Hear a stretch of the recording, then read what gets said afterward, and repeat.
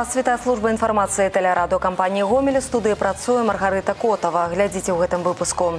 Сацыяльнае дыстанцыяванне і маскі зноў норма жыцця. У Беларусі рост захворвання на каранавірус. Інвестыцыі даюць аддачу. Кіраўніцтва мазырскага нафтаперапрацоўчага завода наведала дачыннае сельгаспрадпрыемства Палесія Аграінвест. Яны захоўваюць гістарычную памяць. Сёння сваё прафесійнае свята азначаюць беларускія архівісты. А зараз аб гэтым і іншым больш падрабязна.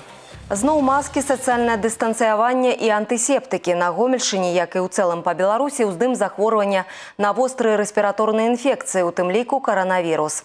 Медыкі заклікаюць людзей берагчы сябе і выкарыстоўваць маскі.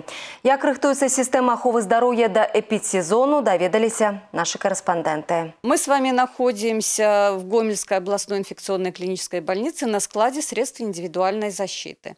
Здесь у нас находятся средства индивидуальной защиты это такие как очки. Вот у нас э, запас э, перчатки здесь и там. И вот если вы посмотрите на ту сторону, у нас большой запас средств индивидуальных защит, такие как комбинезоны противочумные.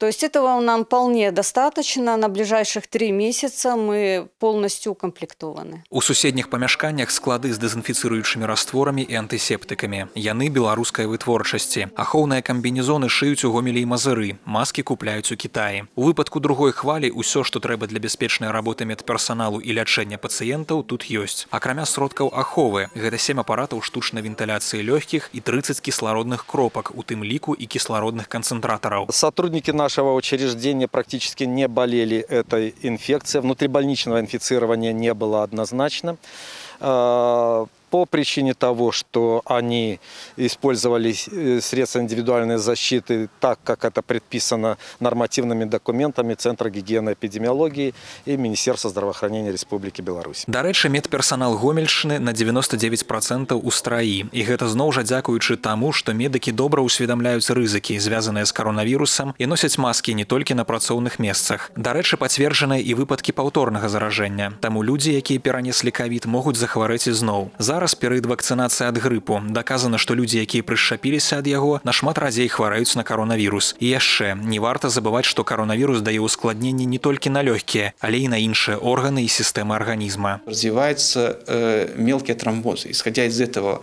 в каком органе данных тромбозов развилось больше, значит, будет больше последствий.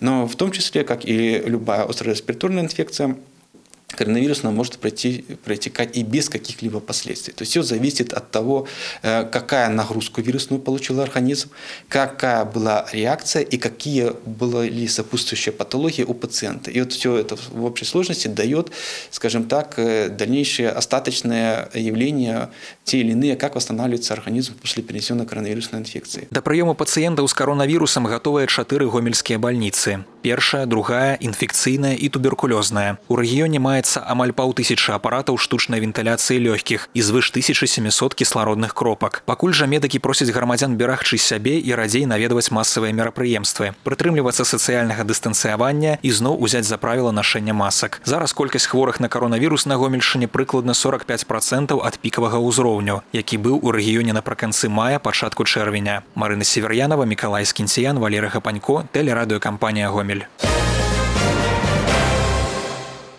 Новае жыццё некалі стратных саўгасаў у мазырскага нафтаперапрацоўчага завода ёсць сваё дачыннае прадпрыемства ў петрыкаўскім раёне. Палесе Аграінвест было створана з чатырох нерэнтабельных і неперспектыўных гаспадарак. У адпаведнасці з дзяржаўнай праграмай адражэння і развіцця вёскі МНПЗ выкупіў усе збудаванні, захаваў штат і пачаў актыўна падтрымліваць новае падраздзяленне. За гэтыя гады ў будаўніцтва і развіццё жывёлагадоўлі ўкладзены велізарныя сродкі. Каб быць у курсе стану справ справ кіраўніцтва завода пабывала на прадпрыемстве са своеасаблівай інспекцыяй. Чатыры адстаючыя калгасы петрыкаўскага района і мазырскі нпз здавалася б што агульнага у 2005 годзе стратныя гаспадаркі аб'ядналі ў аграхолдынг палесся аграінвест заснавальнік уласнік новага аграпрадпрыемства мазырскі нафтаперапрацоўчы гэта стала пераломным момантам 15 гадоў падтрымкі мільённых інвестыцый а яшчэ перадача таварна-матэрыяльных каштоўнасцяў і падбор кадраў за гэтай гады статак вырас амаль у тры тры разы павялічыліся надоі і прывагі. Сёння на Петрыкаўшыне Палесся Аграінвест лепшая ў сваёй галіне. Мадэрнізацыя жывёлагадоўчых комплексаў, новае абсталяванне, працоўная дысцыпліна. На малочна-таварным комплексе церабаў гасцям дэманструюць новыя навесы і адрыны. Зараз тут вырабляюць малако класа экстра з высокім утрыманнем бялку. Закупачная цана на яго істотна вышэй. Прадукцыю забірае тураўскі малочны камбінат. На ферме робяць усё, каб малочныя рэкі ператварыць у грашовыя потокі. Каб атрымаць пажыўнае малако, патрэбен збалансаваны рацыён. Салома, камбікорм, сілас, сенаж, кукуруза. Сёлета тут цалкам падрыхтавалі кармавую базу на халодны сезон. Наступны аб'ект якраз непасрэдна звязаны з харчаваннем жывёл. Дзякуючы інвестыцыям мазырскага нафтаперапрацоўчага тут пабудавалі новы цэх камбікормавага завода. Нямецкія тэхналогіі, сучаснае абсталяванне, працэс цалкам аўтаматызаваны. Вытворчасць вертыкальная, вышыня цеха супастаўная з 10павярховым домам. Гэта самы высокі будынак на Петрыкаўшыне. Много сделано работы здесь было, улучшены условия труда для работающего персонала, современное здесь, современное производство, поэтому необходимо дальше развивать э, село, э, агрогородки. Развитие села должно происходить дальше. Тут нюансы были каждый день, потому что кажется, что производство обычного, не обычного, а производство комбикорма, комбикормов для всех видов животного, э, ну, культивируемого человечеством Но самое главное о том, что это требования такие же для как взрывоопасного производства, поэтому нюансы здесь были каждый день. Пакуль цэх працуе ў пусканаладачным рэжыме. Задзейнічаны 25% вытворчых магутнасцяў. Вырабляюць камбікорм для патрэб пагалоўя. У цэлым вельмі перспектыўны кірунак. На гэтым можна і трэба зарабляць. Тот, кто считает, конечно, свою копейку, э, тот, кто хочет получить на выходе определенный результат, э, он и должен работать, э, будем говорить, и в направлении кормления. Каким видом комбикорма кормишь, такой у тебя будет результат. Для работы завода была пабудавана падстанцыя, электраэнергія пойдзе ў тым ліку на патрэбы Петрыкаўскага раёна. Выязны семінар на базе дачыннага прадпрыемства для кіраўнікоў мазырскага нафтаперапрацоўчага праводзіцца рэгулярна. Гэта свайго роду інспектаванне і магчымасць убачыць пераўтварэнне. Пераканацца, што грошы вылучаюцца недарэнна. Я вижу по э, высказываниям участников, да, что они впечатлены тем что, тем, что мы делаем. Я считаю, что это нужное дело.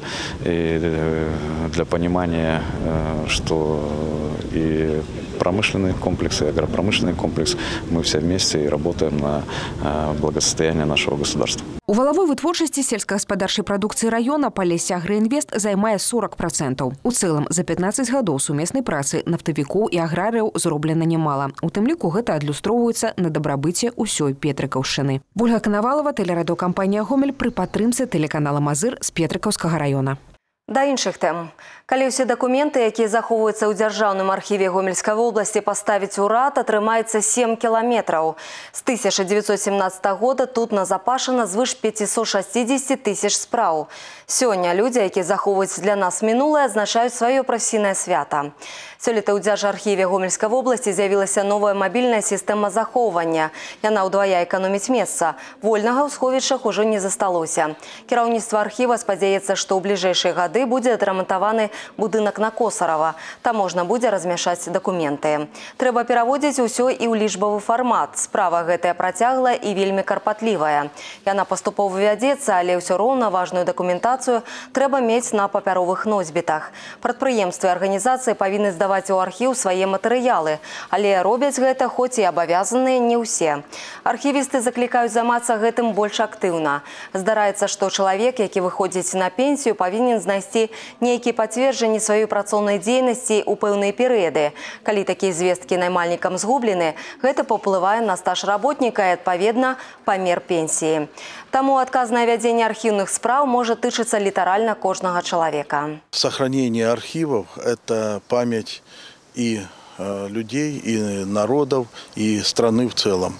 Ну и те, кто сохраняет эту память, они ведут, скажем так, не знают, откуда они идут и куда им дальше идти. Сохранение документов, сохранение памяти – это очень необходимое и нужное для страны э, дело. Новы віток развіцця дыстанцыйнай адукацыі. У гомелі падвялі вынікі конкурсу па стварэнні сучасных методык онлайн-адукацыі. У ім удзельнічалі педагогі з усёй вобласці. Для пераможцаў падрыхтавалі граматы, кветкі і грашовыя прызы. За трэцяе месца 400 рублёў, за другое 600, за першае пераможнае 1000. Аб умовах конкурсу і пераможцах рэпартаж Марыны Север'янавай. Все пераможцы, дарэчы, з райцэнтраў. Трэцяе месца з работай навучання дзяцей сучаснай тэхніцы хуткага малюнка заняла настаўнік выяўленчага мастацтва веткаўскай сярэдняй школы нумар 1 Марыя Худзякова. На другім месцы настаўнік пачатковых класаў 14 мазырскай школы Людмила Вінакурова з работай фарміравання крэатыўнага мыслення. Перамагла праграма пад назвай «Вясёлыя гульні з унімайкай, запамінайкай, воображулькай, пачамучкай» дырэктара і адначасова настаўніка-дэфектолага Давыдаўскай сярэдняй школы Светлагорскага района Светланы Маркевич. Создав такую маленькую авторскую группу, мы решили себя в этом попробовать. Сделали Поскольку в положении предлагалось э, сделать несколько уроков, э, мы попробовали себя в этом. Нам этого показалось мало. Мы сделали целый цикл уроков по развитию памяти, мышления, речи. И отправили несколько уроков на конкурс. И Конечно, мы ожидали победы. Плох тот солдат, который не хочет стать генералом, но на первое место мы не рассчитывали, потому что это был первый опыт. И ну, мы, наверное, себя даже зауважали, что все-таки достойный был материал, который занял почетное первое место. С прапановай провести конкурс по стварэнні сучасных методык онлайн-эдукацыі у галіновае ўпраўлення звярнуліся кіраўніцтва тэхнапарка і адзін з яго рэзідэнтаў кампанія Кідскей. Гэта было на пачатку чэрвеня. Прапанова была безагаворачна прынята і адобрана. Тэма развіцця дыстанцыйнай адукацыі для гэтай сферы адна з актуальных. Да канца ліпеня самыя актыўныя педагогі рэгіёна працавалі над праектамі. У выніку конкурсная камісія Гомельскі інстытут развіцця адукацыі кампанії Кідскей атрымала 46 работ, з якіх адабрала тры лепшыя. Онлайн-праграмы неабходна было распрацаваць для дзяцей ва ўзросце от 5 до 12 гадоў. Инициатива появилась а, по той причине, что хочется найти талантливых педагогов, талантливых методистов, которые готовы создавать а, интересное дополнительное образование для детей. А, Что касается нашего сотрудничества, то, конечно же, мы будем знакомиться дополнительно со всеми педагогами, которые прислали а, свои работы, и будем искать варианты для того, чтобы создавать те программы, которые они изначально уже запланировали и прислали нам. Работы пераможцаў будуць выкарыстоўвацца не толькі ў сваіх установах. Пасля невялікай шліфоўкі спецыялістамі яны стануць даступныя кожнаму, хто зацікаўлены ў развіцці адукацыі ў віртуальнай прасторы. Марына Северянова, Евген Макенко, тэлерадокампанія Гомель. Гомельшчына культурная. У абласной бібліятэцы імя Леніна прайшла прэзентацыя унікальнага альбомнага выдання ў двух тамах. У ім сабраны здымкі і апісанне непаўторных і самабытных культурных падзей і з'яў палескага рэгіёна.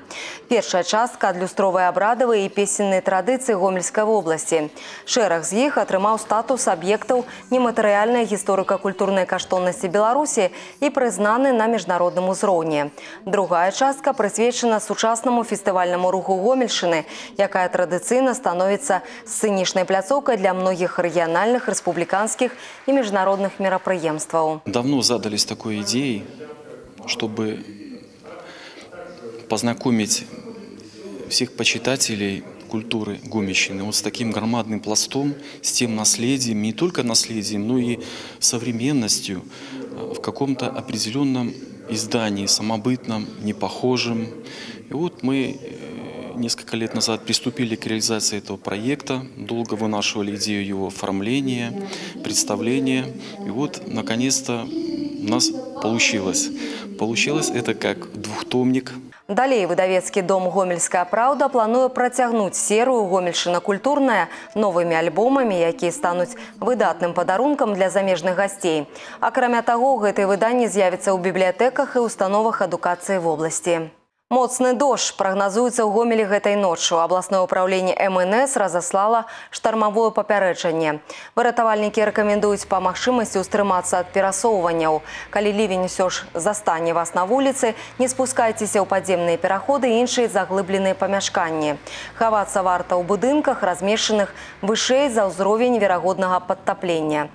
Дажджы прагназуюцца і на працягу ўсяго заўтрашняга дня. Тэмпература паветра ў дзень складзе 14 до 16 градусаў цяпла. Гэта іншыя навіны, інфармацыя о праектах тэлерадыокампаніі Гомель вы можете знайсці на нашым сайце ў інтэрнэце па адрасе www.tvrgomель.бай. На гэтым выпуск завершаны. Усяго добрага і да сустрэчы ў эфіры. Эфир телеканала «Беларусь-4» продолжает де-факто. В студии Николай Скинтиян. Здравствуйте. Ссора с девушкой закончилась задержанием. В Житковичах мужчина в состоянии алкогольного опьянения выяснял отношения со своей избранницей на улице. Когда стало понятно, что диалог не клеится, женщина поторопилась уехать на велосипеде. Словами удержать возлюбленную не удалось, поэтому мужчина решил бросить в нее стакан. Угодил он прямо в лобовое стекло автомобиля сотрудников департамента охраны, которые проезжали мимо. 28-летний жидковчанин задержан, его действиям будет дана правовая оценка. Проводится проверка. Вечер не удался и у молодого человека из Мозыря, и снова по вине алкоголя. 21-летнего парня в состоянии сильного опьянения не впустили в ночной клуб. Он даже пытался затеять драку с охранником заведения, но буйного посетителя выпроводили на улицу. Мозырянин решил выместить злобу. Объектом стала дверь клуба. Попытка уйти от ответственности не увенчалась успехом. Парня задержали сотрудники департамента охраны. В Гомеле мужчина надел наручники, но не смог их снять понадобилась помощь спасателей. Гамельчанин 1982 года рождения обратился к сотрудникам МЧС самостоятельно. Поступок объяснил просто. Нашел наручники и решил их надеть. Они защелкнулись и цепко зажали правую руку. Спасатели освободили ее с помощью шестигранника.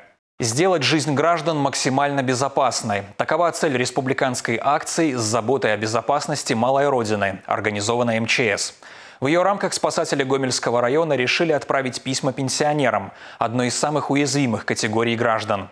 В них сотрудники МЧС призывают людей почтенного возраста соблюдать правила пожарной безопасности.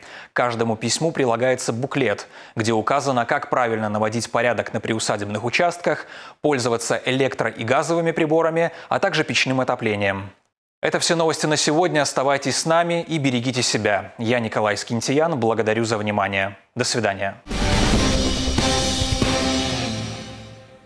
На телеканале «Беларусь-4 Гомель» новости спорта в студии Максим Савин. Здравствуйте. Мужской гонбольный Гомель завтра проведет очередной матч чемпионата Беларуси. Соперник Гродненский Кронан. Гомельчане в турнирной таблице на втором месте, гродненцы на четвертом. Игра пройдет на паркете Гомельского дворца игровых видов спорта. Начало 18.00. Сборная Гомельской области, составленная из игроков 2005 года рождения, выиграла восьмой открытый турнир по гандболу на призы чемпиона мира Андрея Климовца. На втором месте расположились воспитанники ДЮСШ имени Спартака Мироновича из Минска. Замкнули тройку сильнейших гонболисты из Бреста. Также участие в турнире принимали сборная Гомельской области 2006 года рождения и столичный РЦОР. В Минске состоялись республиканские олимпийские дни молодежи по вольной борьбе. Состязались юноши и девушки в возрасте 17 лет и моложе. Сборная юношей из Гомельской области в командном зачете заняла третье место. В личном зачете у представителей нашего региона одно золото. Его завоевал воспитанник Гомельска из дюшор вагоностроительного завода Павел Дятлов. В копилке также три серебра и две бронзы. Девушки в итоговом протоколе на пятом месте. Чемпионкой турнира стала Яна Кустунова из Буда Кошелева. Завоевана также по одной серебряной и бронзовой награде. В Гомеле сегодня состязались совсем юные вольники. Борцы со всей страны съехались на открытое первенство БФСО «Динамо». Награды оспаривали спортсмены в двух возрастных категориях – 11-12 и 12-13 лет. Всего в списках более 220 мальчиков и девочек. Желающих бороться на гомельских коврах было больше, однако организаторы были вынуждены ограничить прием заявок. Возможности зала не позволяют принимать большее количество спортсменов. Хотели сделать э, соревнования немножко скромнее – но в связи с тем, что мы, не, не, не, не, никто не проводит турниров, все стараются приехать, приехали, с удовольствием борются. Завтра борьбу за награды открытого первенства БФСО «Динамо» поведут представители греко-римского стиля. Соскучились по соревнованиям и представительницы художественной гимнастики. В открытом первенстве Гомельской области принимают участие более 80 граций из Гомеля, Минска и Рогачева. Самым маленьким 7 лет, старшим 15. По словам тренеров, долгое отсутствие соревновательной практики в первую очередь сказалось на уверенности юных спортсменок. Порой банальное волнение мешает выступить в полную силу. Тем не менее, грации рвутся в бой тем более, что в середине ноября в Гомеле будет проходить первенство республики, и все мысли уже об этом старте. Месяц будем усиленно готовиться, оттачивать, обновлять программы, готовиться на все сто процентов. На этом пока все. С новостями спорта вас знакомил Максим Савин. Оставайтесь на Беларусь 4.